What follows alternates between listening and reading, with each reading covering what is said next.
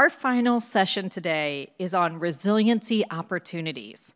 I'd like to welcome up our presenters, Dr. Joshua Daskin, Lori Miller, and Jim Strickland. Dr. Joshua Daskin is the Director of Conservation at Archibald Biological Station, where he promotes the use of science in the conservation of biodiversity and ecosystems.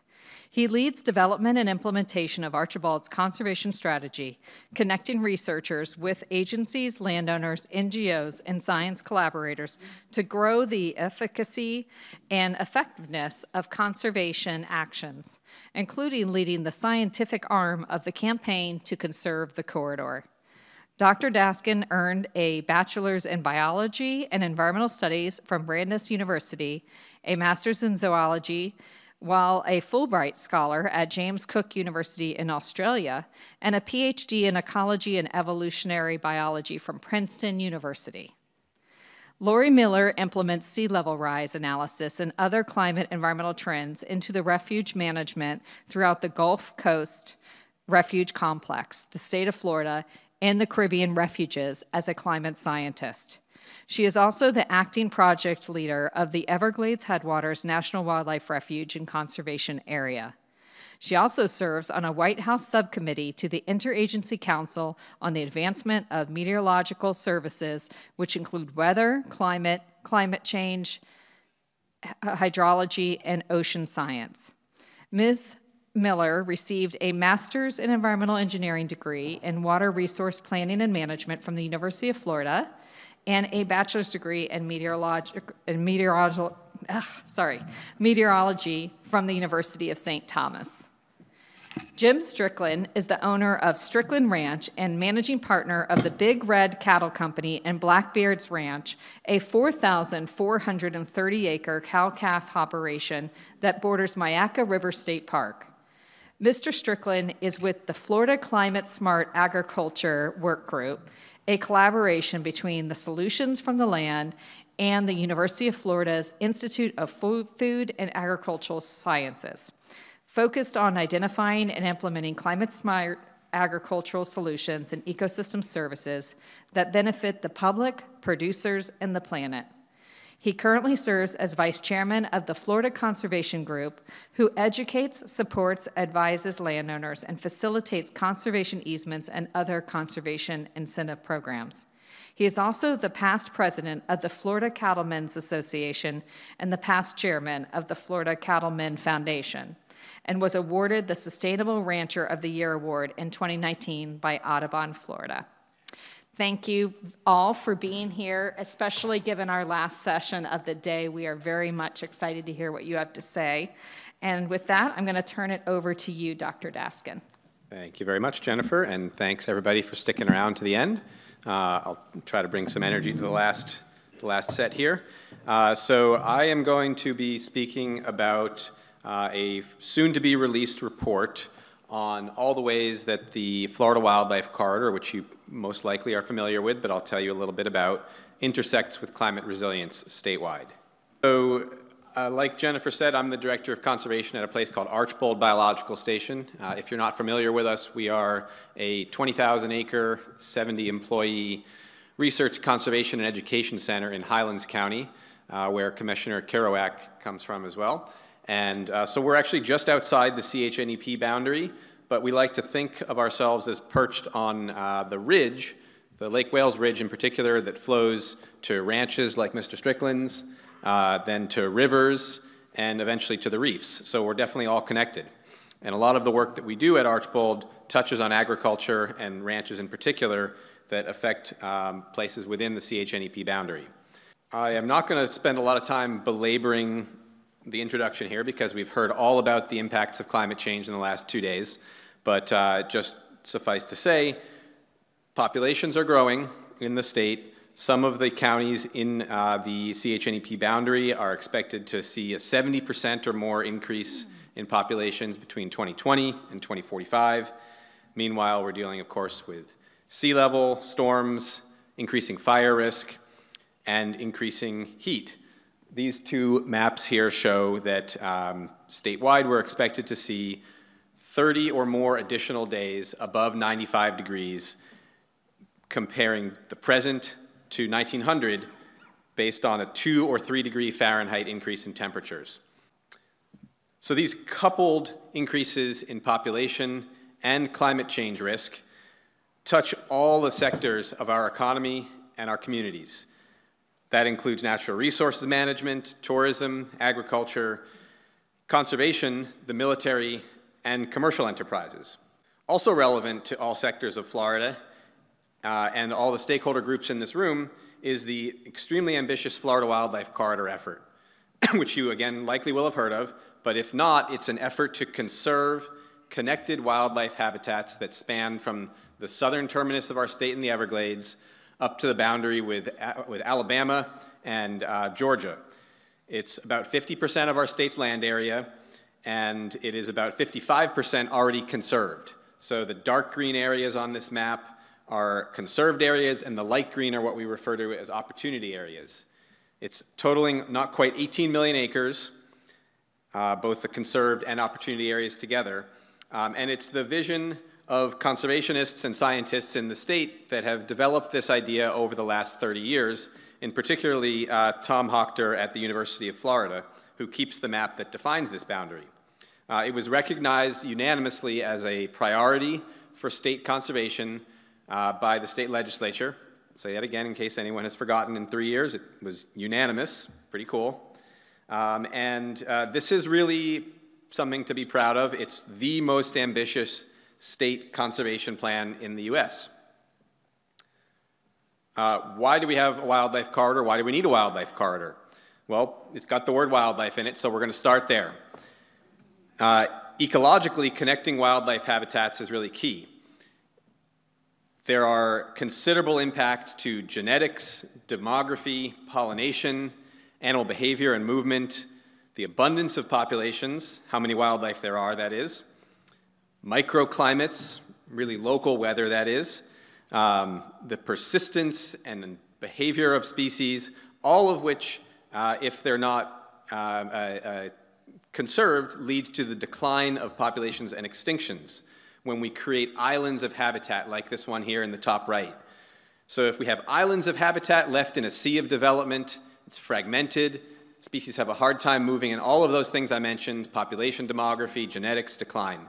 The graph here shows the results of an Archbold study comparing the genetic diversity of Florida scrub jays, our only endemic bird, uh, that means it only lives in Florida in the whole world, uh, in natural areas, so they're connected, and suburban areas just north of Archbold. And you can see that the birds living in the fragmented area have lower genetic diversity, which is related to population declines. And in fact, over the 30 years that we've been studying the species there, the scrub jays have in fact declined in that neighborhood. Connectivity, uh, which is connecting, uh, like connecting across the Caloosahatchee River here in the bottom right, uh, which is really key for the panther population being able to expand, gives wildlife options for how to escape from disturbances. That's one way to think of it. So it might be from a really quick pulse disturbance like a fire, a storm, or a flood, or it might be for a longer term type of movement like moving north or inland from sea level rise uh, to escape climate change impacts. Uh, some of you may have been in the room when last year I presented to the CHNEP Technical Advisory Committee uh, about a report that Archbold spearheaded and that was led by the University of Florida Water Institute on all the ways that water resources intersect with the Florida Wildlife Corridor. If you're not familiar with the report, I encourage you to check out the QR code here and to go to our website where you can find it. This is an example of uh, part of my role at Archbold and Archbold's role in particular, uh, more generally, in the Corridor campaign, which is to convene scientists to answer key questions that will help us prioritize and value conservation of the corridor. What does it take to con conserve 18 million acres? Why should we do it? What will be the benefits to people, to nature, to economies, to agriculture? And crucially, what can the corridor not do for resilience and for other things that our societies benefit? When we as the conservation community go and speak on behalf of the wildlife corridor, we have to do it credibly, and that means saying when there's something that the corridor will not do for us. We learned a lot of things out of this water resources report, like the the wildlife corridor is actually really good for a lot of our water resources, particularly surface water wetlands, rivers, which are connected just like a corridor, uh, but it's not as good at protecting others like uh, aquifer recharge. Kind of makes sense when you think about it. The best aquifer recharge areas are really high sandy soils that we've mostly already converted for agriculture or for development. So that points to the need for other solutions. Nonetheless, the report pointed to a lot of co-benefits of wildlife conservation and land conservation for other aspects of our societies. The interest in these sorts of co-benefits of land conservation with other things that we value extends to climate change. And so we are not the first, Archbold or the Corridor Campaign, we are not the first to think about the overlaps of land conservation and climate resilience. And I'll point you to a couple of resources for those who are interested. The first one on the top of the slide here comes from the Lincoln Institute of Land Policy in Cambridge, Massachusetts. And they did a national survey of large landscape conservation initiatives looking to see how are these land conservation groups addressing climate change. And most of them are talking about climate resilience. Most of them are mentioning potential co-benefits. Nearly half of them indicated that climate adaptation or mitigation is a focus of their work, uh, but it's not the leading priority for most of them. There's not a lot of intentionality, you might say, uh, about how large landscape conservation is overlapping with climate resilience. The good news is that there's hope that the two will be overlapping more deliberately in the future. So uh, I point to the Natural Resources Conservation Service, uh, part of USDA. They have a series of climate smart mitigation practices, which they are tying lots of their new funding to, and they are ripe with funding for easements, for land management, and for other uh, landowner assistance programs. And then the uh, Readiness for Environmental Protection and Integration program from the Department of Defense uh, really strongly values climate resilience as well in their land protection programs. So uh, beginning in spring of 2023, I approached uh, Dr. Colin Polsky, at the, he's the director of the Center for Environmental Studies at Florida Atlantic University, uh, along with Professor Jay Baldwin, also from FAU, and asked them to spearhead a report on all things climate resilience and land conservation in Florida. They assembled this, uh, frankly, pretty cool all-star team from five universities, um, agencies, NGOs, for-profit corporations, and I contributed from Archbold. And they were tasked with answering that question. What can the Florida Wildlife Corridors Conservation do for climate resilience? The first step was that in July, we convened a stakeholder group. These, um, these potential end users for the report mostly nonprofits, also Florida Fish and Wildlife Commission uh, and the Florida Department of Agriculture and Consumer Services, came to Archbold and heard about the plan for the report, gave us input on what might maybe we should tweak, what Colin and Jay should tweak, I should say, since they were the lead authors, and uh, how to message the report back to them at the end so that anything we produce is really actionable. Top level take home message the Florida Wildlife Corridor is both sensitive to climate change it's exposed to lots of the risks we've been hearing about, but it is also a world-class adaptation plan. So let's start with fire. We can expect that Florida is going to continue seeing an increased frequency of heat waves, decreasing soil moisture as well, which will increase the risk of wildfires in our natural and agricultural habitats. The southern regions of the Everglades, uh, towards the Everglades are likely to experience earlier problems of this sort due to the advanced favorable atmospheric conditions there. So they have a lot of thunderstorms, a lot of lightning, um, potential for droughts. And the corridor provides an opportunity to manage fire in ways that mitigate that risk in an especially economically and ecologically uh, manageable or affordable ways. So if you're a firefighter, you're going to have a much easier time putting out a fire if it's in a big connected landscape, large intact habitat, than if you're trying to put out spot fires next to 20 people's homes and businesses and military installations that you're trying to protect the people and the property there. Uh, so just by being larger, it's easier to manage fire, and it's easier to do prescribed fires, which we know are really the key management tool in Florida ecosystems. Prescribed fires not only maintain habitat in the natural state they would have burned historically due to wildfires and make these habitats stay viable for our wildlife, but they reduce fuel that can lead to greater wildfire risk and more intense wildfires if we don't do these prescribed burns. Staying with fire for a moment, I'm going to drill into one particular example in uh, northeastern Highlands County on the edge of the Avon Park Air Force Range, which is the eastern seaboard's most important air-to-ground military training range. Um, having a conserved corridor is not really sufficient for fire management uh, and climate resilience because prescribed fire is what we need. And uh, this area in particular that I've zoomed in on, it's a place called Carter Creek. Some of you in the room may have heard of it. Uh, and it's one example of many across the state where our natural resources agencies are managing a patchwork of ownership. So the green are kind of conserved areas that are owned by the Florida Fish and Wildlife Conservation Commission in Highlands County. And the, uh, the yellow is owned by the Nature Conservancy. And then the white pockmarks are private inholdings in this area. So this was initially uh, platted development, never really developed. There are only a few scattered houses in there, and there's continuing slow development. Every time there's a new house, it makes it harder for um, the wildlife to be managed for, and it makes, us, makes it harder for those managing this site at, with FWC to go and do a prescribed burn because they have more folks they need to manage around. This really echoes the tenuous situation unfolding for the last decade or two in California and elsewhere in the US West. We're seeing it in Texas this week, um, where prescribed burning has really been neglected over the decades, and we're now left with a very dangerous situation. And there's the opportunity, we have the opportunity here in Florida to head that off at the pass.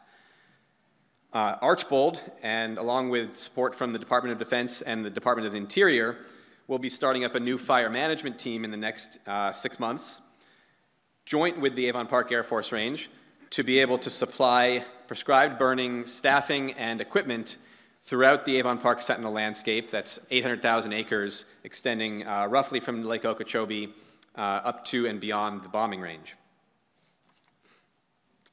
Moving now to flooding. Uh, the climate section of the forthcoming report, which will be released in about two weeks, uh, was led by Dr. David Zierden. He's the state climatologist based out of Florida State University. And he wrote that we can expect future rainfall in Florida to be more intense, to lead to more runoff and flash flooding, more river flooding, and that we'll see more coastal flooding. So this is that um, sort of stacking of different types of flooding. I forget the, the better word for it that the hydrologist speaking earlier used, um, but when you have more than one of those types of flooding, and you have impervious surfaces, tides, storm surge, you have a problem. Now some good news, is that about two-thirds of the remaining natural floodplains in our state, um, and 50% of those that have not yet been conserved, are in the Florida Wildlife Corridor.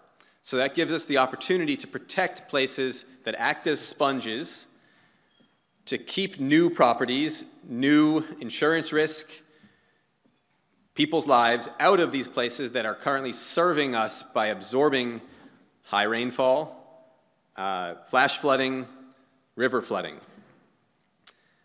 Um, we're also likely to see more frequent sunny day flooding along the coasts as tides are uh, stacked on top of that sea level rise. We know that mangroves, a coastal ecosystem service provider, can be valued at over uh, $3,300 per acre for providing flood protection against uh, properties that are immediately behind them. The corridor is also uh, quite a good protector of mangroves. Heat, a third type of risk that we're certainly all dealing with as we see advancing climate change. Nationally, there's been an 88% increase in heat-related deaths between 2019 and 2022. That is a short period of time to see almost a doubling in heat-related deaths. We're dealing with the same thing in our communities. Uh, at the recent Avon Park Air Force Range, uh, military installation resilience review that the Central Florida Regional Planning Council led. I heard from the Highlands County Sheriff's Department and Fire Department who said heat-related illnesses are one of the biggest risks that they are seeing increase, um, particularly from some of uh, the more senior populations in the counties. So the corridor uh, will provide some mitigation of heat because these open areas, these green areas, mitigate urban heat island effects. We know that our cities, with pavement, with impervious surfaces, with reflective rooftops and parking lots, are some of the hottest areas and we'll see some of the, the, the, greatest heat impacts of climate change. So the green areas in natural lands and uh, agricultural areas are likely to be slightly cooler. That's a good thing. Um, one of these kind of credibility points, though, or, or credible ways to speak about the corridor is to acknowledge that conserving the corridor probably will not uh, help the urban, the urban heat island effect in our cities. One of the best things we can do for the corridor, and I'll speak about it in a few more slides, uh, is to build in slightly more dense ways. So put people where there already are people and where there's already infrastructure. The corridor is not going to mitigate heat island effects for them. Uh, all right, back to biodiversity because it is a wildlife corridor. There is refuge provided from climate change impacts uh, for many of our most treasured species and ecosystems in Florida. Although there's not a coherent ecological signature like there is in many parts of North America and other northern regions of species sort of moving en masse northwards to escape climate change, we do see some key species and ecosystems uh, that are responding to temperature and other climate, uh, climate changes. In particular, the southern boundary of the longleaf pine range uh, is moving northwards. The mangroves you heard about yesterday are migrating northwards as well, replacing salt marsh. And some of the invasive species, like pythons, are also certainly moving north. Some of the biodiversity most at risk from climate change are coastal species that are, that are and will be forced to move inland as sea level rises, and so coastal to inland connections provided by the corridor will be key for those species. Sea turtles, as well, maybe not protected by the corridor too well, uh, but they are at risk of, uh, of, of declines due to heat and what heat does to how their sex is determined at birth. It actually skews the ratio of males to females.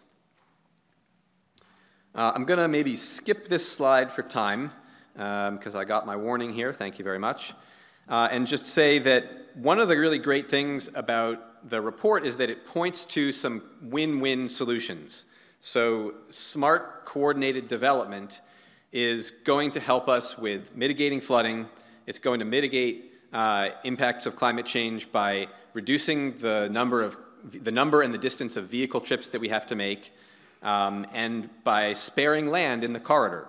So the development community and our decision makers have a major role to play in conserving the corridor and finding these solutions. St. Petersburg, where I live, actually is one example, uh, one good example. They recently rezoned all areas with 100, within 150 feet of major roads to be uh, able to home, house up to four residential units. Uh, another key point in the smart development scenario here is that we need to start thinking about doing away with the piecemeal development approach parcel by parcel decision making. Uh, Commissioner Kerouac mentioned earlier the need to look uh, holistically at stormwater management. The same is true of land use and zoning decisions. Climate finance and all of that federal money that you already heard is available, providing potential opportunities for individual landowners, local, county, state, municipal governments. Uh, if you don't know where to go for this money, uh, ask your regional planning councils, ask me, uh, there are lots of folks who want to help you access that funding. A third benefit of the, uh, another benefit of the Corridor Campaign for Climate Resilience is that it has helped generate partnerships like the ones in this room today. So the corridor exists because of decades of partnership among these groups and others that have conserved those 10 million acres that are already protected. Uh, lastly, I will just say that there are some outstanding science needs that include thinking and acting locally. So this is a pretty zoomed out big picture report we're about to uh, release here. And one of their take homes is actually that we need to do the same kinds of resilience studies locally because that's where zoning decisions are made, that's where land use decisions are made, that's where water resources decisions are made. Um, a lot of these studies are already going on at nonprofits, consultancies for individual landowners, and inside insurance companies or local governments. We need to be able to surface those information uh, points to be able to plan holistically. Economics of nature. How do we value the services like those mangroves that, that are $3,300 an acre, how do we do that for other ecosystem services? We need to uh, mobilize our economists to think about these problems.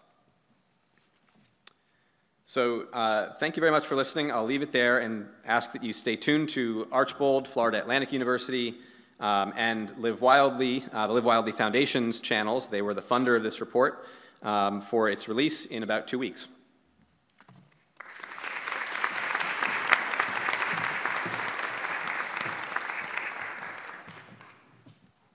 All right. Well, first of all, thank you guys so much for being here at almost the end. If you're here for your continuing education credits, I think you should ask for extra credit. And I want to thank also Josh because he's kind of teed up my presentation, so I may uh, steal a little bit from Josh and build upon his, his presentation. So when you think about or you hear uh, U.S. Fish and Wildlife Service, I think a lot of people have one of two thoughts. Um, oh, it's an agency that takes care of the threatened and endangered species. Or, oh, it's the agency that manages these really cool wildlife refuges. While both are true, I'm here to tell you about a new initiative that we're about to break ground with, um, something I'm extremely excited about, and I hope you guys uh, will be too. So, who so far in the audience, by a raise of hand, um, has heard of the Everglades to Gulf Conservation Area? Oh, we have quite a few. All right, so then let's, let's just jump right into it. So, first of all, there's a couple of differences between a wildlife refuge and a conservation area. In a refuge, typically our agency owns the land, we manage the land, we have offices, uh, and we have visitor centers. But with a conservation area, um, it's an area that's built more around uh, conservation easements. Um, and so uh, the, with an easement, if there is a willing, and I want to keep stressing this word willing, if there is a willing landowner who would like to put, not sell this property, but put an easement on his property, he continues to own the property, he continues to operate his property. If he has cattle, he can still graze his cattle. Um, if he's a farmer, he continues to farm. But with an easement, I mean, he can even sell his land, but the easement goes with the land. He can hand his land down to his grandson. Easement still goes with the land. So, all we ask uh, really of the owner is to maintain your property, um, treat any invasive uh, vegetation, and don't do things like digging ditches or ponds or disturbing the habitat and that type of thing. You know, let's protect the, the property. Don't subdivide. Don't put it up for um, uh, development. And um, understanding that Fish and Wildlife Service has the right to maintain and improve uh, upland habitats and also uh, wetlands. So we're in it together. And again, it's all completely 100% volunteer uh, on these, on these uh, programs. So we have, as we've talked about for the last two days, we have some natural resource threats. First is the development of a lot of our green space. Um, we continue uh, to increase our nutrient loads into our waterways, creating those harmful algal blooms, which, which are toxic not only to wildlife but also to humans. Um, and then, thirdly, uh, the climate change, which we've been talking a lot, a lot about the last couple of days, and um, sea level rise, and then adding high tide effects on top of that as well. So, what our agency decided to do was let's just kind of look at things. Um, what can we do to help bring back add to resiliency for not only Southwest Florida, South Florida, also Central Florida. So we kind of studied, and you can see the hatched area behind me. Um, that kind of started out as about seven or eight million acres that we just looked at and said, let's kind of tighten this up and see where we can really uh, get the biggest bang for our buck. So we looked, um, included the greater Everglades, it included places like Fisheating Creek, uh, Peace River, um, let's see what else. Yeah, Caloosahatchee. And so we kind of narrowed it down to about 4 million acres. Now, during this process, um, about a year ago, we started with our scoping. And it was about this time uh, last year. And we included 70 um, agencies along with other groups into the scoping process. So what you'll see is we've got, actually, it, it, it increased from 2,600 comments to 3,000 comments, and we were 99% positive uh, comments. So everyone's on board, the public's on board. Um, so this, to me, is one of the most exciting things that we have going right now. Um, so everyone was uh, wildly supportive, and again, um, a lot of the talk was from landowners about these easements or someone who wants to sell their land. All right, so the planning team, we included uh, the tribes of Florida. We included the state of Florida, including FDEP, FWC. Every arm of Fish and Wildlife Service was included on the uh, planning team, as well as the University of Florida. You heard uh, Josh speak of Dr. Hoctor. Um, he's been a, an incredible uh, influence on this because he is the director of the Center of Landscape Conservation Planning with U of F, and also the National Wildlife Refuge Association and the Florida Conservation Group helped us um, with the, the scoping as well. All right, so starting out with our objectives, some of these get a little redundant, so I'm going to focus on just a, a few of them. The first couple um, are really important. We want this conservation area to help with Everglades restoration. We're hoping to protect our watersheds. Let's try to help clean the water. Let's keep kind of development a little bit at bay. Let's keep the green spaces. Um, and, you know, we have almost 70 threatened and endangered species in this state alone. And they've got to live somewhere, and they have to be able to move somewhere. And so we're wanting to put all of these threats together uh, with our conservation area. We also are trying to, you know, Florida is very unique and, and original, and we're trying to keep remnants of the old Florida still intact. So we want to continue to do that, but we're also working with our partners that have other conservation initiatives in place.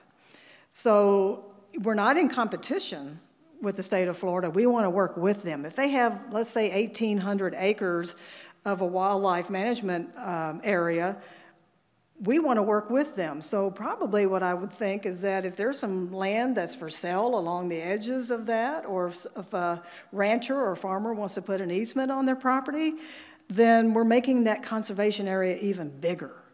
So it's, you know, we're working together. We're not in competition. We want to work together on the conservation area. And one of the most exciting parts of this, you know, I've been working in Everglades restoration uh, for probably about 15 years. And one thing that's really been troubling to me for that entire time is how are we going to get our critters north of the I 4 corridor. You know, it's like, what do we do? They, you know, with sea level rise coming and urban development, they're being kind of squeezed inland and they're being squeezed north. How are we going to get them around I 4? Without, and I hate to say it, without becoming roadkill. I mean, basically, we've got to figure out a way to get around that. So, one of the most uh, exciting things to me is if you look at our boundary and think of this as an acquisition boundary, we're not coming in and taking this land, but if someone lives in this area, they're in our um, acquisition boundary, we can talk to them about it. You know, we can start the planning process for that. But there's the I 4, and you'll see that we have pushed our boundaries up to and north of I 4, hoping that we can get our hands on some land, whether it's a purchase or whether it's an easement, so, you know, our critters can move north and get whether they're going under I 4. We don't have that figured out yet. We got to get the land and think about it. But uh, at least we're going to work our way to being able to move our critters north into central Florida. So during the planning process, we looked at several models. We have 12 models, and a lot of them were run by the state of Florida. Um, and so we have we looked at the ecological priorities, whether it's habitat, whether it's connectivity. Um, but with these 12 models, you'll see behind me that some of the areas are really dark green. And those are the, the ecological priorities of the state of Florida, and we wanted to include them in this conservation area. So we kind of can bring our focus into where exactly do we want to think about buying land or using easements um, for the corridor.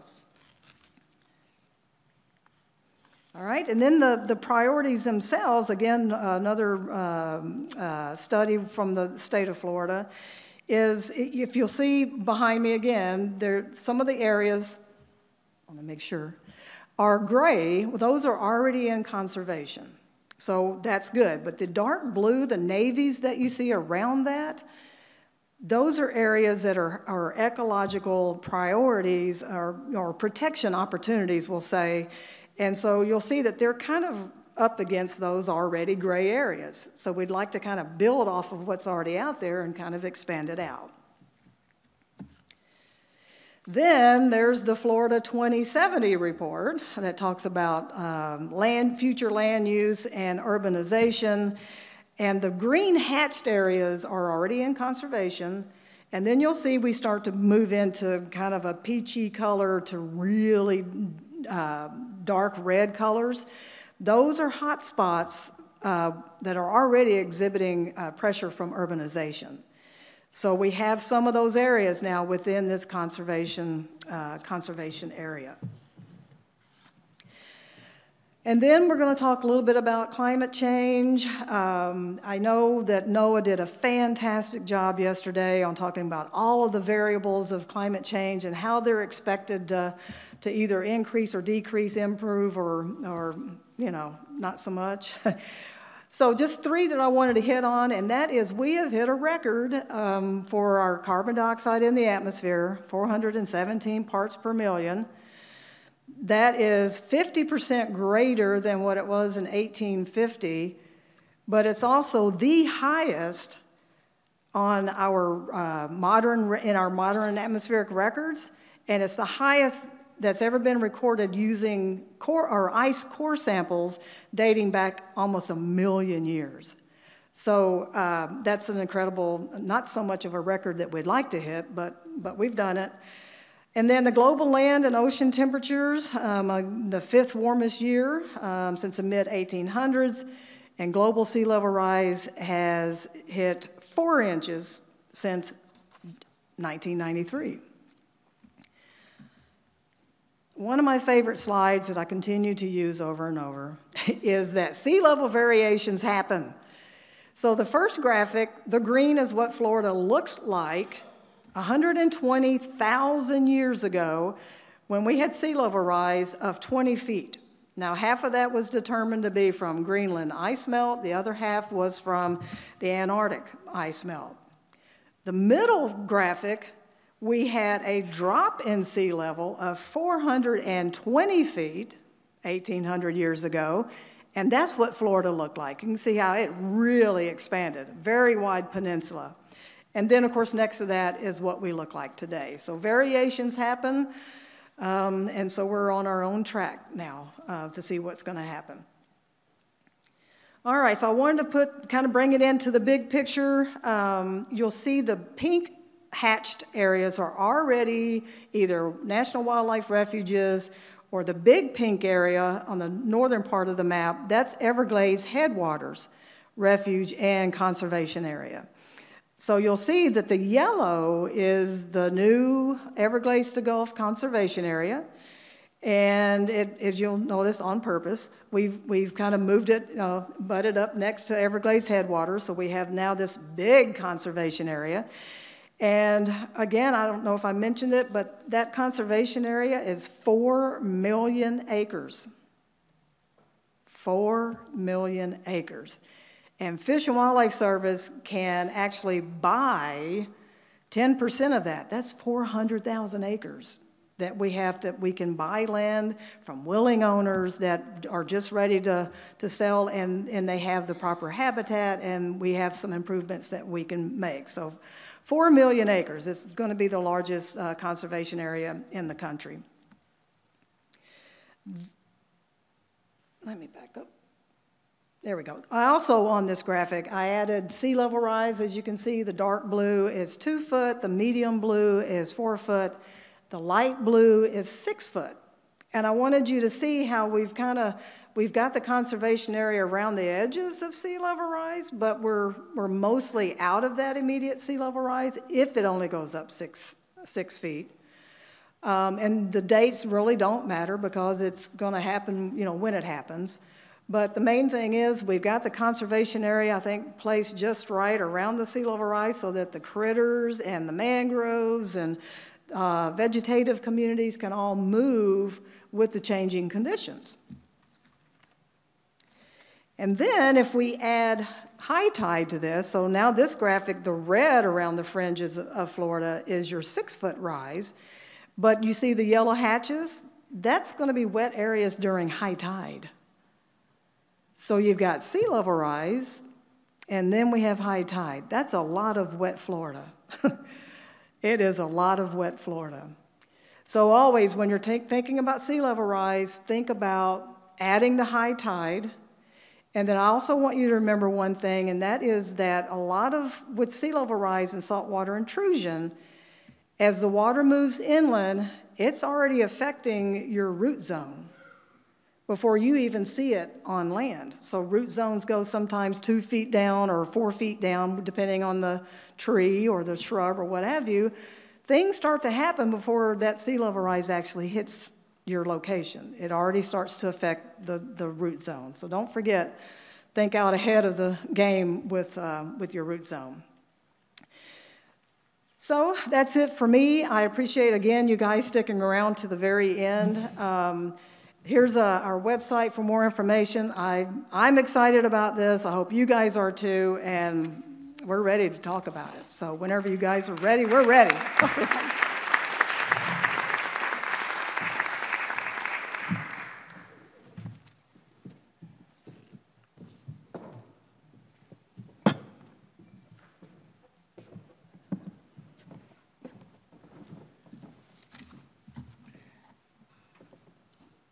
I'm Jim Strickland, and I am not a scientist. I'm not a researcher, uh, nor a statistician. I might be a conservationist type cowboy. I've got a high school education, barely. I had to check the other day to see if I could go to my high school 50 year reunion, and that's a true story because I didn't remember whether I graduated or not. But I truly love Florida, and I truly appreciate all these folks, like these people and everybody else that has presented because I'm in the land and the cattle business. Without y'all, everybody in this room, whether you're an NGO with the government or you're not with the government, or whether you're an independent scientist or a researcher or just a caring citizen or you're a mayor of a city or a county commissioner, we're all here because we care about something. And I think it's Florida and I damn well know it, Florida. And we care about Florida because of many different reasons, but it all comes back to whatever reason you have, it comes back to the fact that we care. And you're sitting in this room, and it's really appreciated. So here's a, here's a day, here's a day in my life.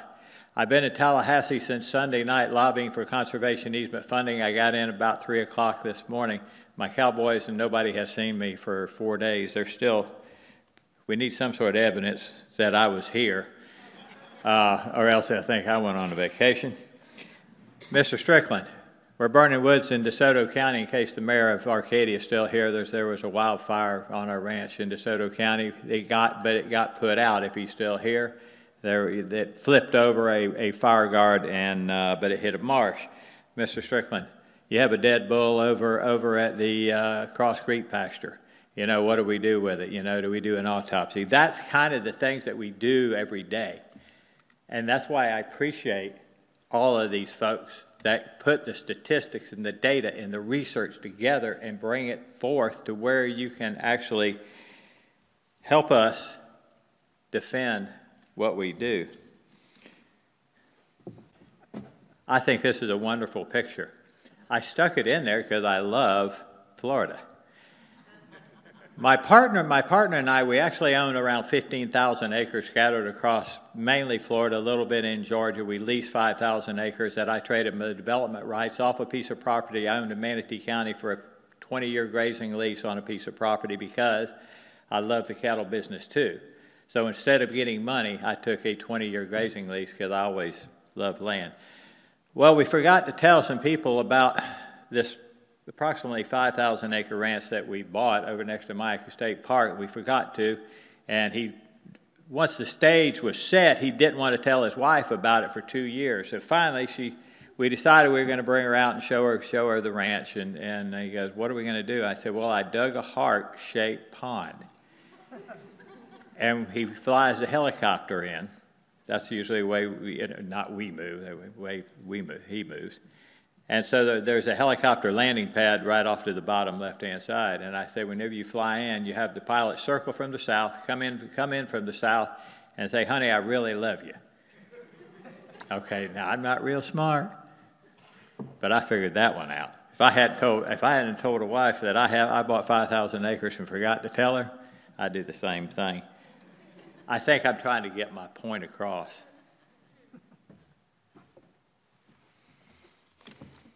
So what, what is the Florida Climate Smart Agricultural Group? I can tell you that they're international. They are nearly at every COP conference, United Nations conference that happens anywhere, anywhere, anywhere in the world.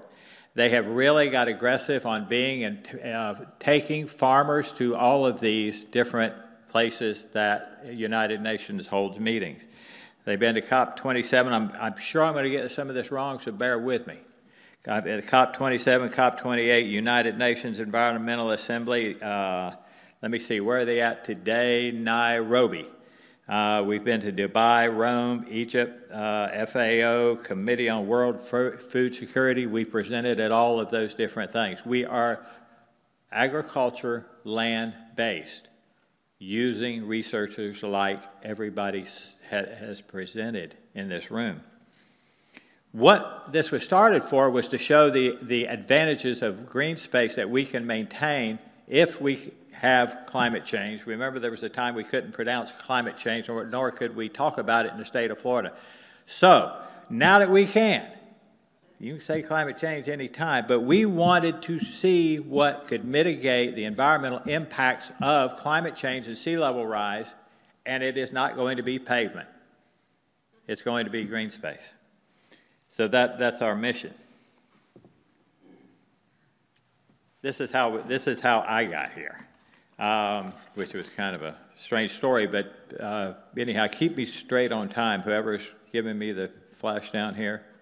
Um, so Lynetta Griner and I decided that we would co-chair. Lynetta Griner is one of my business partners. She's a timber owner, was the first lady that was ever the president of the uh, Florida Forestry Association. She's an attorney. Her husband and I are, are also business partners. And we felt like the two of us coming from North Florida, her, me from South Florida primarily, timber owner with a cow guy, that maybe we, would, maybe we could work together. We then reached out to every commodity known in Florida. We even reached out to the bivalve community, to the Ed Chiles of the world, to Heath Davis, that was the mayor of Cedar Key that's in the bivalve business up there. They're all on our board of directors. Scott Carwick, is he still here? Scott left. He's on our board.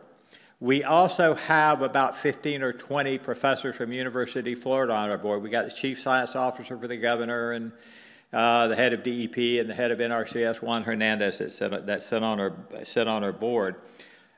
And whenever I was asked, I didn't know what to do, and I really didn't understand climate change or sea level rise, and that is honest. So who did I call? But I called my friend Dr. Tom Hoctor, that's been referenced several times with the Florida Ecological Greenways Network and Center for Landscape Planning. I'm sure I butchered that one too, by the way. Um, he is a dear friend of ours.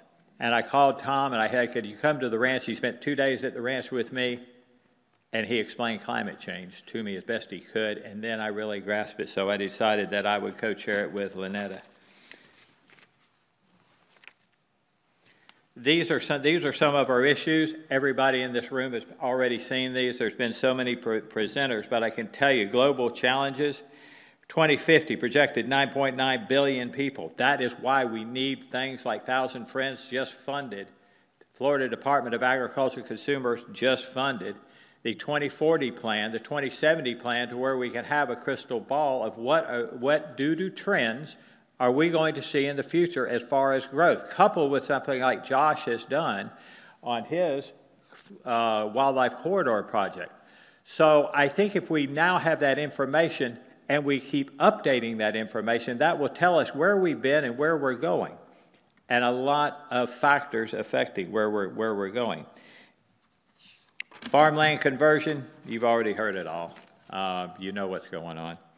Uh, here is, here's what we really want to tout on is agriculture directly influences or underpins more than half of the United Nations Sustainable Development Goals. Number one is no poverty. That's one of the things that I think of. I've been called while I was in Tallahassee to discuss the fabricated meat product. Well, I'm in the cattle business. Meat is meat. As far as I'm concerned, milk is milk. Almond milk is, you know, but that's, that's the where I come from. By the way, I drink almond milk every morning in my smoothie.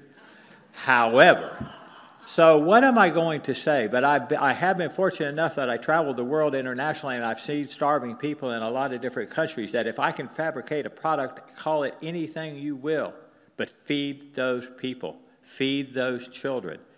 We have poverty here in the United States. We have hunger here by masses in the United States.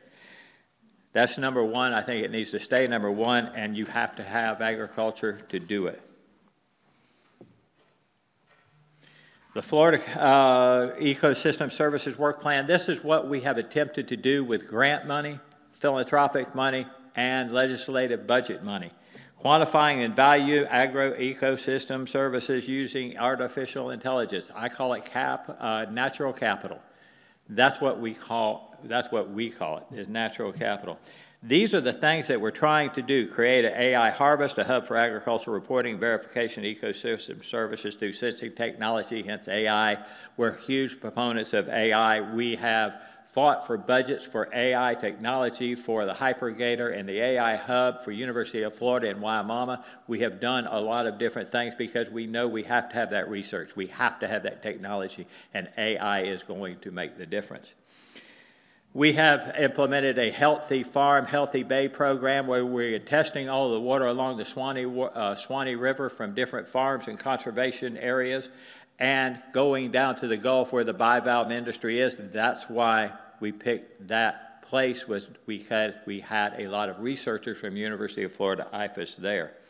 We have used a tremendous amount of drones uh, collecting data. Uh, our ranch in Marion County, one of our ranches in Manatee County, we are using as test ranches. We're using Lynetta Griner's and we're using one in, in Marianna. With the money we got from the legislature, we are doing, we are doing these studies. We're also doing chlorophyll studies as with LIDAR and radar and, and a lot of overlays that are, that are working on. You just found out I'm really not a scientist. That's what I know. I can, I can tell you that, but I can't explain it to you. We have really worked to advocate for funding. It comes down in so many times, it, come, it comes down to money. Money. It comes down, if, if U.S. Fish and Wildlife Service is going to buy something, what do they need? Money. If FDACS with the Rural Family Lands Program, money. If you're a landowner, what do you need? Money. It all comes down to money. And that's why we need everybody in this room to help realize continually that we can all use different products. We can recycle. Some of the times we can't, as landowners, we can't do what you do because you live in a little different world. Not a better world, not a worse world, just a different world. But we have the ability, if you help us, to save millions of acres of land. Particularly in Florida, we have the ability to save hundreds and hundreds of thousands of acres. Right now, I think there's 370,000 acres of willing ranchers that are on the books that they want uh, conservation easements through Rural Family Lands Program. Then couple that with the NRCS programs. Then couple that with DEP and Florida Forever, which is one of the finest pristine wilderness type preservation plans in the nation. We also need to realize that as we got into this thing about carbon excuse me, as we got into about climate change and sea level rise, that if we don't save land, we won't have anything to work with. So that's why we really then slanted, changed, and morphed into agrosystem services or natural capital assets. That now we're trying to document all of what we have and what it's worth, and that's why folks like Archbold, folks like IFAS, you know, we're doing a carbon sequestration study on our ranch. I have one herd of cows with AI technology, uh, a whole herd of cows. Each one of them has a Verizon cell phone around their neck. And they have a GPS unit around their neck that I can change their grazing patterns by the stroke of a mouse on a computer every single hour. I can actually bump those cows with a line an electric line that moves across that actually gathers cattle. The things that we're going to be able to do today, five years now, we'll think would be archaic. I can't call my cows, but I know where they're at, and I know where they've been because I can track them every 30 minutes, it, it will move. This is one of the, this is a similar map that, that you have seen. Uh, shows you where we're going to be and where we're coming. I go back again to thank you. Florida Conservation Group actually partnered with these folks, with Thousand Friends of Florida, GeoPlan Center, and FDACS on, on these plans, and we were proud, we're proud of it. Climate Smart Ag. I wish I could just hand this out to you because, it, because I think I have done a pretty good job of explaining to you what we are looking for in the future based on the path and what are we going to do in between as individuals, as groups, as a country, as a state, or as a, or as a world. We have been a great benefit, beneficiary of some federal funding. America the Beautiful, Inflation Reduction Act, I know right now that, that we are working with a, a lot, a lot of money with our, I'm, i just changed over from Solutions to the Land to Florida Conservation Group, that we're working with a lot of money uh, that has become available that's going to move the needle. And a lot of you in this room are doing the same thing. You know, we're planning, we're planning for the future. Here's what really upsets me is congressional dysfunction. Just last night, we extended the Farm Bill last night to March the 8th. Oh, thank God, we extended the Farm Bill. The Farm Bill is the one that actually funds so many of these conservation programs that we all depend on, the cost shares we depend on, what y'all as voters have said you wanted to do. The Democrats are blaming the Republicans, the Republicans are blaming the Democrats. The House is blaming the Senate, and the Senate's blaming the House.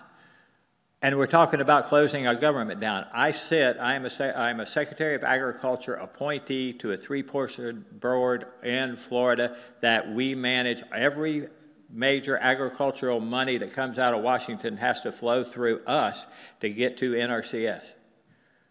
If, if last night they had not done a continuing uh, resolution, we would have had to shut our computers down and all employees would have had to go home.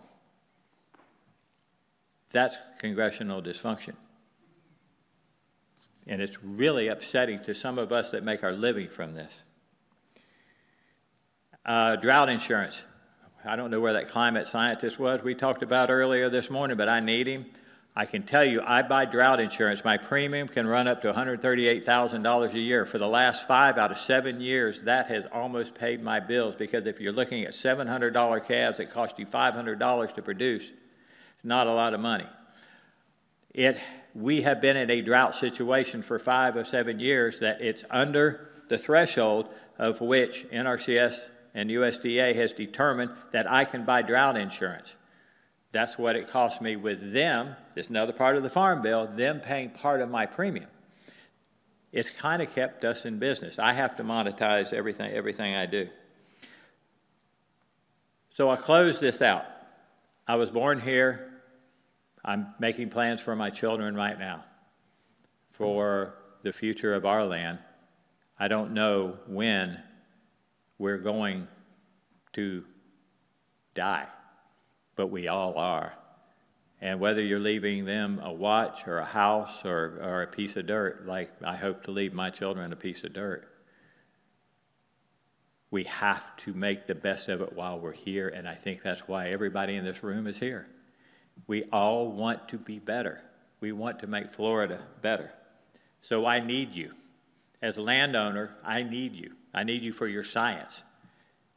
I need you because Scott Kerouac mentioned it, he stole my thunder, that less than 2% of the population comes from agriculture and the rest is you or you. It's not me. I only have this many votes. On 15,000 acres, I have about seven. How many do you have in your backyard? Donations, cash donations. It comes a lot more from residential areas than it does from agricultural operations. I need you. I need the research. I truly need the research and the science. I spoke to a group of University of Tampa students last week at a class of environmental science slash political science, and I said, we need you. We, I don't care if you never farmed, we need you. We also need you to lobby for us.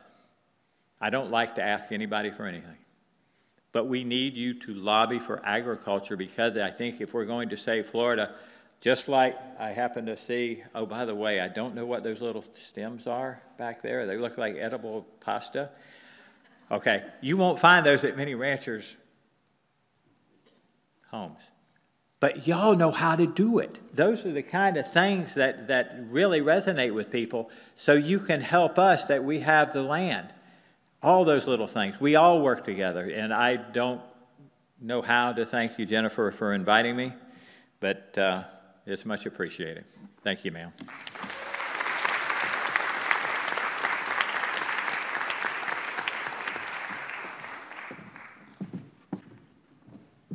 right. If you haven't already put in your uh, questions, feel free to do so now. We're going to go to the Menti and we'll start reading off some questions for our panelists. Regenerative agriculture has been shown to sequester carbon dioxide, which is a major, wait, which is the primary gas responsible for our climate crisis. To what degree is regenerative agriculture being used in Florida? I think that one is for you, Jim. I think it's for me and, and a whole bunch of forage agronomists, soil scientists, and uh, climate change experts. Regenerative agriculture, and, and, we talk about resiliency, and we talk about sustainability, and we talk about regenerative. Uh, whenever you talk, whenever we talk about that, I think it has a great amount of optimism a great amount of optimism. The problem is that the devil's in the details, and I feel like the old snake oil salesman that came through the old west towns. I feel like I'm one of those townspeople that we have dealt and heard from so many different carbon sequestration people, companies, you know, that are wanting to do something. I almost now feel like we need, truly need the government in, in some sort of stand, um, standardized program to where we know I have talked with people from Ireland, I've talked to people from Brazil, I've talked to people from France, California, all over, and I'm a little confused when we get done. There is some opportunities and there's some real pitfalls left there, but, but we truly do have uh, some opportunities. We just started a carbon sequestration study on one piece of one ranch. I believe Archbold has one, University of Florida has one. And uh, I think that just like I beg for research, I'm begging for re more research on that, on that study, and, and Josh can tell you what they're doing. Thanks, Jim. Um, I totally agree with everything you said, that um, the, the carbon market world has huge potential, but is also hugely complex and complicated um, and difficult for everyone to understand, whether you're a scientist or a landowner or a regulator or a policymaker. Um, and Jim is also right. We have just finished off uh, what we think is the first full carbon accounting for a Florida ranch at our 10,500 acre ranch, Buck Island Ranch. And uh, it's a pretty interesting story. In a normal year, we are a very slight sink. So we are pulling in a little bit more carbon than our operation produces. Pretty cool for cattle ranch, not the usual story um, but probably typical of a south central Florida cattle ranch. Um, it gets more complicated though because in a wet year, our seasonal wetlands are holding more water and there's more methane that naturally comes out of those wetlands. That's not necessarily a bad thing. It is not a reason to drain the wetlands. It is not a reason to cover your wetlands with dirt or fill them in. Um, it's just nature. And so what this points to is that there are complexities in what are people going to actually pay for when we pay a rancher to store carbon? How are we going to measure it? How are we going to regulate it? Um, and there is a lot of potential to it, but I think we're not quite there yet. All right, our next question is for you, Dr. Daskin. Regarding excess heat and temperature rise, do you think the techniques being used in Phoenix to mitigate the issue of high temperatures would be useful in southwest Florida? I might have to beg out of that one. I'm not sure what the what specific techniques there are that are being referenced in Phoenix. If somebody wanted to to fill in, I'm happy to try, but I'm not sure which which techniques these are. All right, fair enough. And we'll go to the next one. For rural counties and cities in the corridor and conservation area, is there an associated payment in lieu of taxes program to compensate them for loss of tax revenues as lands are conserved? Uh, yeah, I got my hand up. Yes. In many cases, there are. It depends on the status financially of that county. I could, if, uh, if DeSoto, if DeSoto County was here, I'd know that uh, we have had that conversation with them. But keep this in mind. The studies that have been done for, tax, for ad valorem tax, which is property tax, done, that that study has shown that agricultural lands actually subsidize those people that live in town that for approximately, depends on what county you live in, but in Manatee County, a last study that was shown that every dollar we pay in taxes costs 40 cents for us. So I know there has been concern, and also there's been uh, a lot of conversation lately, and I've been part of that rural towns and how they're going to be affected if there's massive amounts of conservation easements around there because they will not have the opportunity for growth. I think it's a discussion to have. There is a, there is a payment in lieu of taxes that is a, available to those, some of those counties, but now we're not talking like Sarasota, Manatee, Collier, Charlotte. We're not talking about those counties that it won't make any difference. But I can tell you that we still stay on the tax roll. I've, I, we just recently bought 1,200 acres uh, about four or five weeks ago. And I went down to the property appraiser and I said, okay, do I apply for Greenbelt, which is an agricultural classification for ad valorem taxes, or do I apply for the conservation value of that piece of property? I used to do this. I am half an appraiser. And uh, so I'm, I'm kind of leading you in here. There is very little difference, but most of the time, the ag value, which makes, might be, say, $100 an acre, taxable value will be approximately 50% of that. So unless you get into an orange grove situation that some of the times because it's a high income producing area or strawberries, that you'll see something a little bit different, but you normally will not see many conservation areas on active orange groves or highly intense farming operations like, like strawberries or, or tomatoes. You just won't see it. Uh, I'll just follow on quickly as well. Um, you know, Jim again said about 98% of the same that I would have. And uh, if folks are interested in that study he referenced that shows agricultural lands subsidize residential areas, they come from the American Farmland Trust. Uh, I'm a biologist, definitely not an economist, and I just learned of these studies about a year ago, and they're fascinating. Um, that, that group, American Farmland Trust, has done these studies. They're called cost of community services studies across the country, like hundreds of times, and agriculture always, like always, comes out ahead of residential. So again, agree with Jim that there's a discussion to be had about uh, payments in lieu of taxes, but we shouldn't sweep the really pretty strong evidence that agriculture comes out ahead of residential in terms of municipal finances. All right, our next question is for Lori. Uh, can you use the new wildlife crossing over 10 lanes of US 101 near LA as a model of a wildlife bridge over I 4? I think we're open to just about any idea. Um, I know we've been very successful with wildlife uh, crossings underneath US uh, 41 Tamiami Trail uh, down in the south part of, of Florida. Um, so we've got field cameras, we catch panthers and raccoons and everything you can imagine, deer, using that wildlife crossing to get underneath Tamiami Trail instead of, you know, being in the road and being hit by cars. So absolutely, we will look at any technology that comes our way as far as a safe passage for our, uh, what I like to call our critters. All right, the next one is How is the conservation area funded? And is it believed that there'll be enough consistent federal funding to meet the need and interest? I hope so. That's the plan. Um, I don't have the exact, like, what fund. I, I, wish I had others here with me. I was more of a scientist. Um, I'm a uh, refuge ecologist and a climate scientist, so I don't have a lot of the policy. Like, I'm going to lean on Jim and Josh a lot on that part.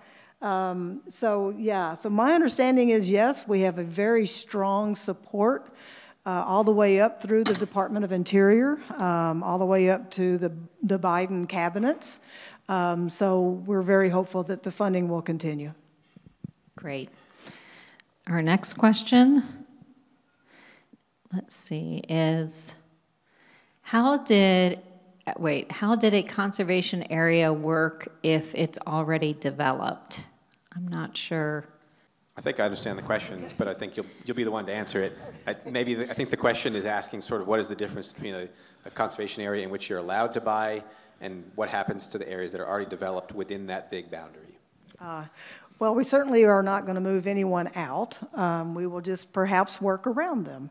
Um, certainly not going to disrupt people's lives. You know, this is this is kind of we're we're trying to help with uh, where we are with the development. And if there is development, um, then certainly we will try just to work around that.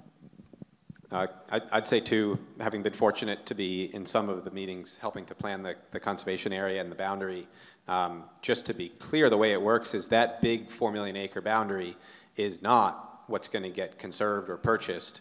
That is the area in which the agency has the ability to work with landowners if they, show, if they so choose and if their properties are in a condition that make them a priority for conservation.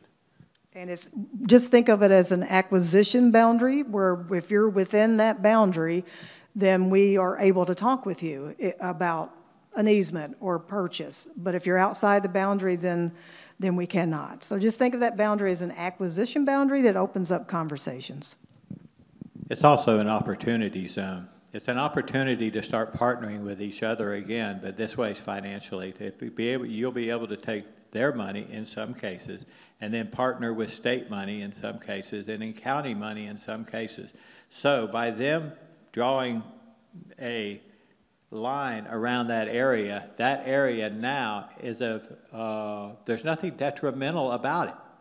And that's one of the things that we really had to work at to make sure that all big landowners, and I was part of that landowner and uh, process, explaining to my peer group that, that there's nothing that can happen except good. And we can take federal money, couple it with state money, couple it with county money, and we can accomplish some goals. All right, the next question is for you, Jim. Uh, does the climate does the Florida Climate Smart Ag Group also help ag and ranch folks with disaster prep and recovery? No, we don't. I can tell you, um, I don't. I, sometimes I wonder who does. That w- I I got hit with. Uh, I got hit on Five of our seven ranches got hit by Ian. We're sitting there, I think that statistically by NRCS, we've said we had about a $2 million loss. And it's been almost, uh, we're about 96 days from the next hurricane season, and none of us have seen any money. Um, but there is money there for us for recovery. The problem, you, you know, there's FEMA, which will get buildings, but they don't get anything associated with us. That comes through FSA, Farm Service Agency, or NRCS. Or if you have private insurance, and, and we don't do private insurance on 15,000 acres. But this goes back to the Farm Bill. It goes back with we need your voice for lobbying for the farm bill, and these continuing re- resolutions are killing are killing us. You know, I mean, it's killing us because we don't know what's going to happen. That all there's a lot of people all over it, orange groves, citrus groves, uh, farms, ranches, timberland that have been devastated by Hurricane Ian, now Hurricane Idalia. We need to get the money out, and we need more employees, federal employees in the state of Florida to help facilitate those things. We have the programs. We have the money. We don't have the employees and the expertise to get that money pumped out to agriculture right now. All right, and the next question is What will it take to transform conventionally managed private landscapes, commercial and residential, traditional mow and blow services, into wildlife friendly and climate friendly management? Why don't you take the residential? Because I am the farmland.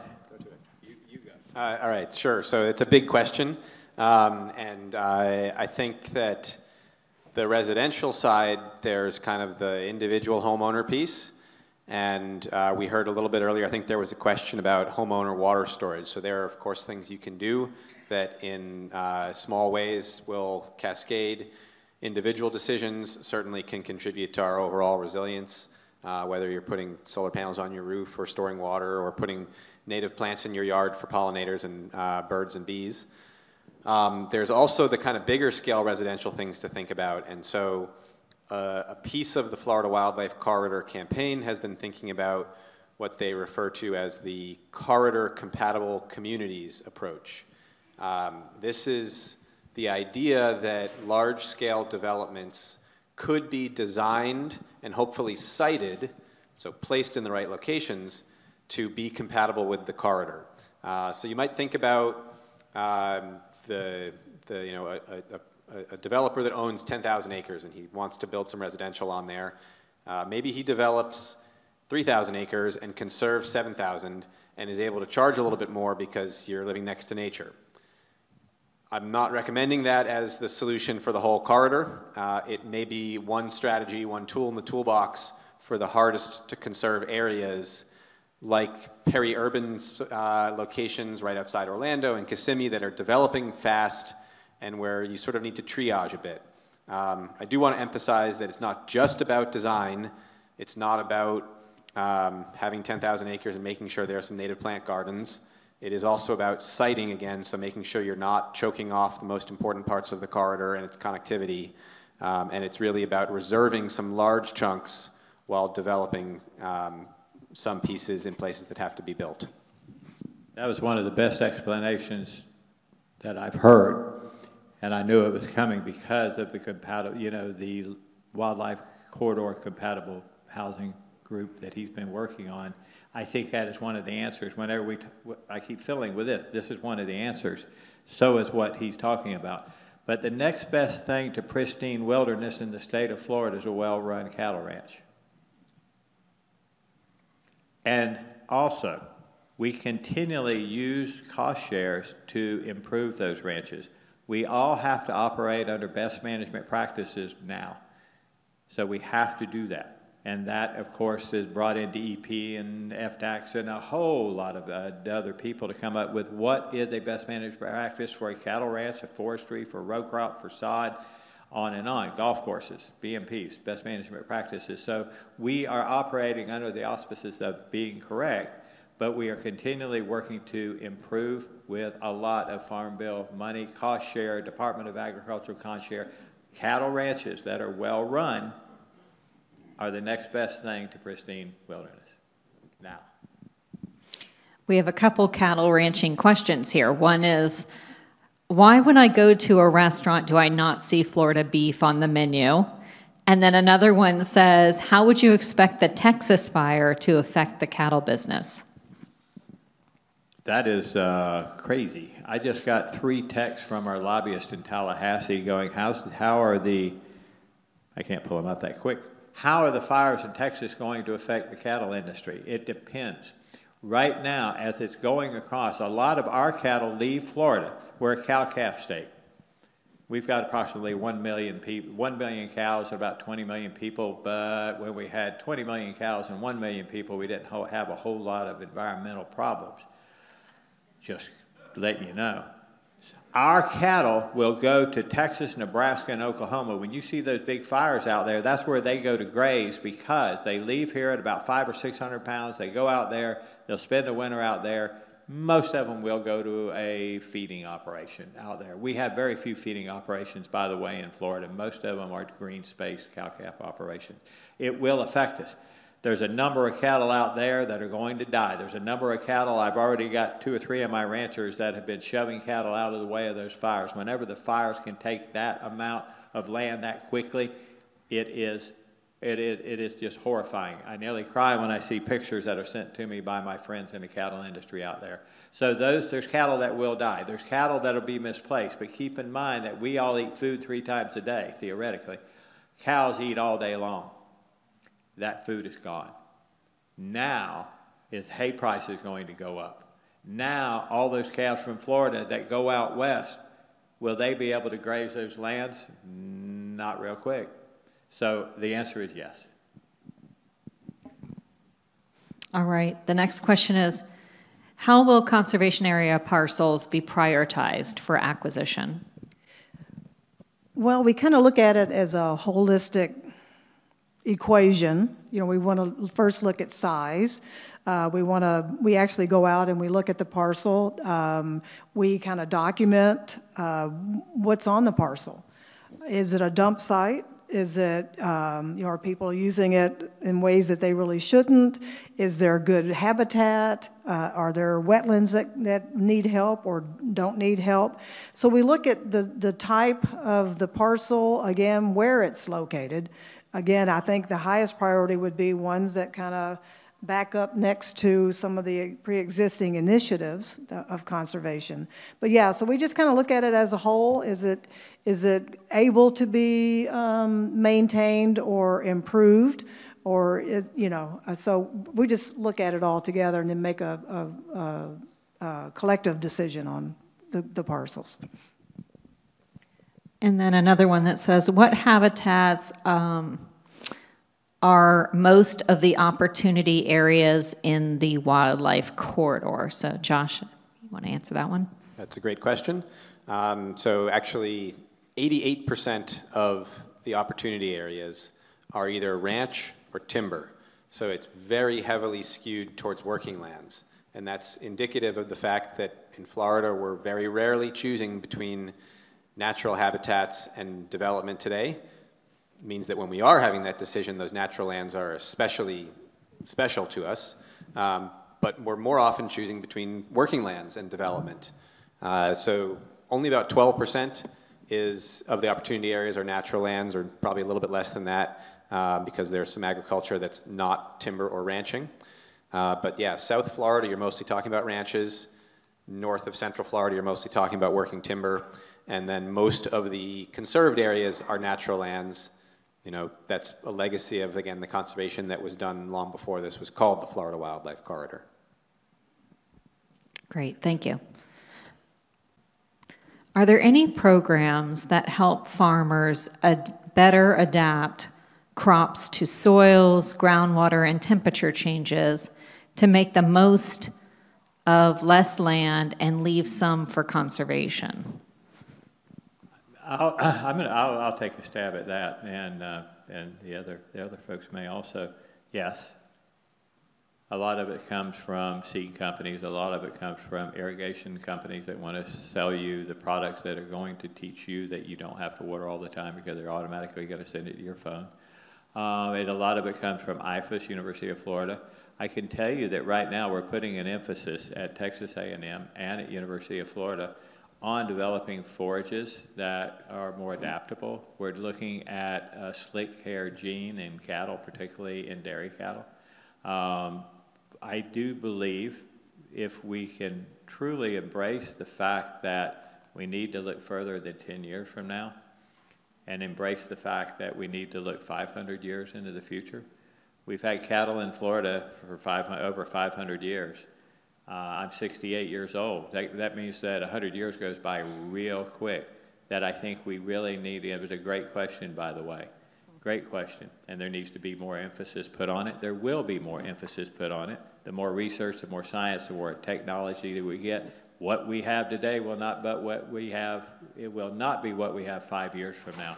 But yes, there is a lot of people working on that, but not of scale, big scale yet, at least here in Florida. All right, I think we have time for uh, at least one more question. So, uh, so many good questions. Um, how do we best support and push our legislators to renew the Farm Bill? Are there items, actions that need to be listed listed in there? I guess into into the Farm Bill. I think it's too late right now to be BT uh, changing the Farm Bill because actually they're looking at revamping the 2018 version right now. But it's talk to your congressman and it, you know, talk to your congressman and tell him what you really love about Florida. And then you have to tell him again, and then again. Because in the meantime, they're hearing from 98% or 98% of the population about their wells and about their roads and about their sewage and about uh, red tide and about all these different things. And the Farm Bill only comes around once in a while. If you really want to help, talk to your senators and your representatives in the state of Florida. Right now, we had a uh, we had an offer out there from uh, the Senate for 300 million dollars for the Rural Family Lands Program. The House came back with 33 million dollars. Then the Senate came. Then the Senate came back with a hundred thousand, a hundred million, and the House went to a hundred million. I happened to be sitting there when they did it, so we just tapped out at a hundred million. Now, now is when we really should have made friends with a lot of representatives and senators because right now the leadership is going to meet in Tallahassee. They have a sprinkle fund, they have a discretionary fund. Hopefully, the House and the Senate will agree to each one of them put in $50 million, somehow raise that up. We also have the Seminole PAC that's going on.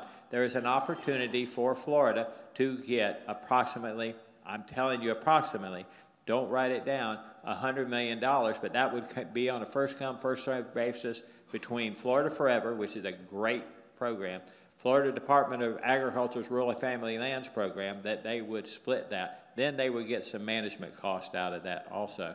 So if we could, I would say let's continually reach out to our senators and representatives.